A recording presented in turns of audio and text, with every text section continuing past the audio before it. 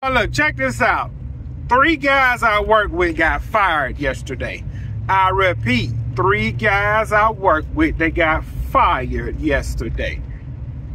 And it's not the not the fact that they got fired, because they was horse playing and they damaged some equipment, so that's on them. But it's, it's what happened today. Again, they got fired yesterday, eight hours into the shift. I'm sorry, eight hours and a half into the shift, they got fired because they broke something while they was horse playing. From my understanding, what they broke, it was like 30,000 to work 30. What happened is that it was this plate. Y'all might not be familiar, be familiar with this language. It was a plate on the come along with a winch and they was winching it down and they was horse playing, playing with it. One of the winches broke, plate fell, damaged some, uh, the little railing on stairs, damaged the railing both sides, doom doom. Hit another wall, put a dent in it, doom doom. Went down the next stairs.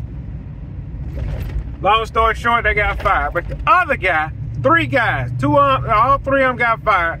But one guy decided to double back today and beg for his job back.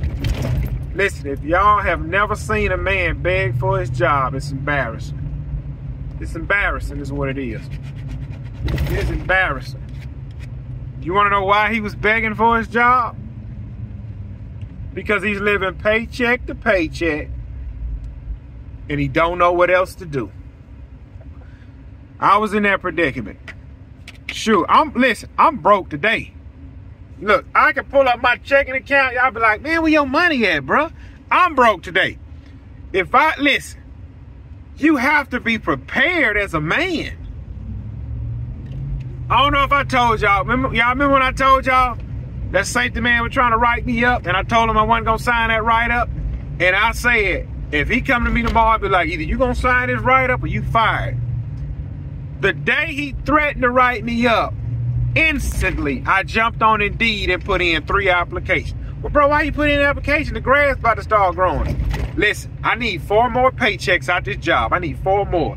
And I want listen, I'm not letting nobody stop my plans. I'm letting I'm not letting nobody stop my plans. I need four more paychecks to take these four paychecks, pay my mortgage up to September. That is my plan. I'm not letting him or nobody else stop that. So my plan was, hey, he fired me. Shoot, he fired me on a uh, Wednesday. I go ahead and put this app in. Friday, I'm burning for somebody else. Y'all hold on. I'm about to go break this dude jaw. And y'all got to forgive me, man. I always run up here to the ran up here to the doggone convenience store to give me some candy. I'm on my lunch break at work. Well, anyway, I was prepared to get to get fired because my mind, I said, man, look, I'm, they got to fire me. I'm gonna run over here, grab this other welding job, paying $36 an hour, mandatory seven days a week. I banged that out for 21 days and I quit. Well, anyway, push come to shove, I didn't get fired. They, they just whatever. All right, now look, check this out. If you've never seen a man beg for his job, it's it's it's, it's sad. It's one of the man. I wanted to break down, start crying when I seen that. So anyway, I'm telling you, it's sad, bro, to watch a grown man beg for a job. Guess what? He didn't get a job back. Is this cop trying to pull me over? He better, he better on somewhere gonna get his job broke. So look, as a man, you have to be prepared in life. Nobody is coming to save you. I said it once, I'm gonna say it again. Nobody's coming to save you. Nobody. I'm saying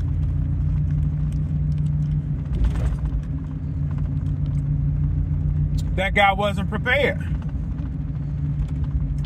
It don't matter if you live in check to check. always see who's hiring, man. I'm telling you, they fire me tonight. If I come back after lunch and say, hey, man, pack your bags. You left your gas running. You all right? So lady right now just emailed me asking me am I still interested in this job paying $35 out.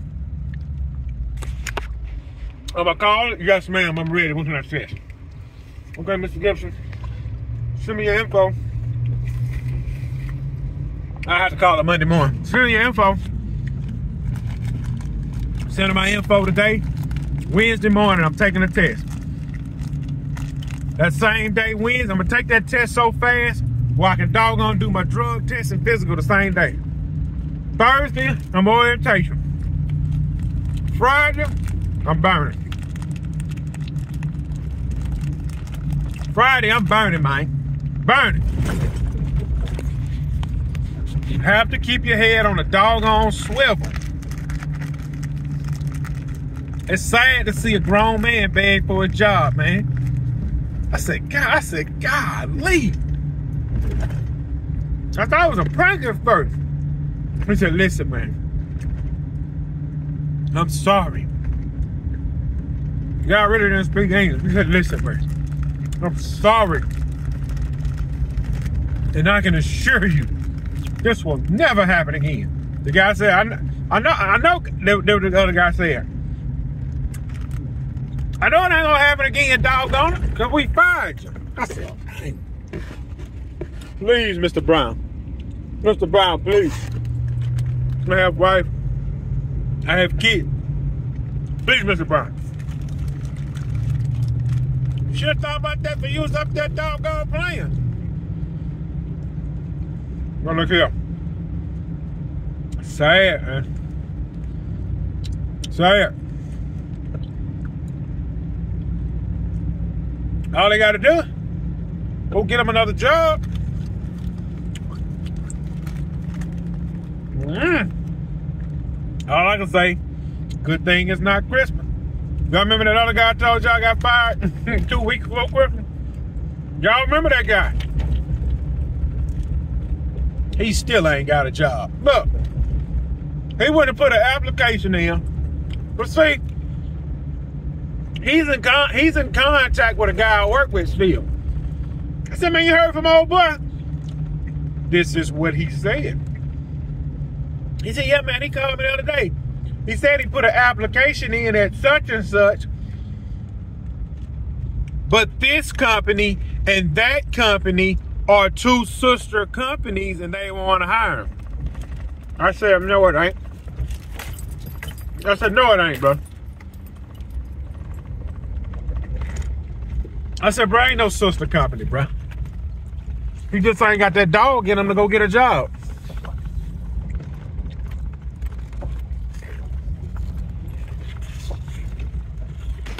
He said, well, man, that's what he told me. You see, a guy like that will let one job ruin his life. That guy got fired two weeks before Christmas. He still ain't got a job. Then he talking about, did what he said now.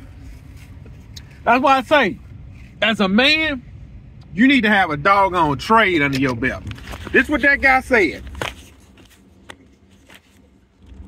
Well, I'm a going over here to Dollar General since they hired. That was some candy, y'all. Dollar General, since they hired it's better than nothing. Bro, look, bro, I'm to be honest.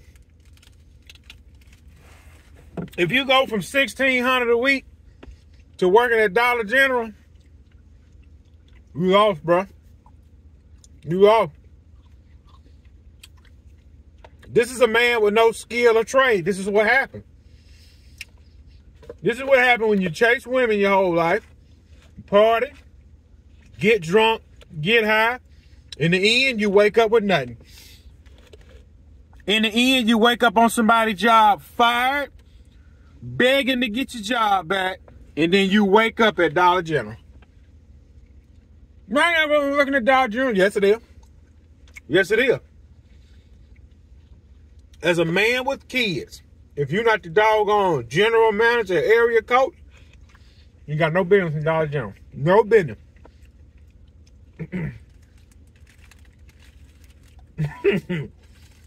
That's sad, bro. That man begged for his job. Please, Mr. Brown, please. Mr. Brown, please, please, I'll do anything. Mr. Brown, I'll do anything. Pack your stuff and get out of here. Ah.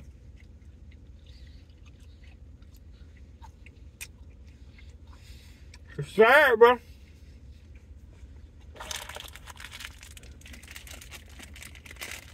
Nobody's coming to save you. Nobody.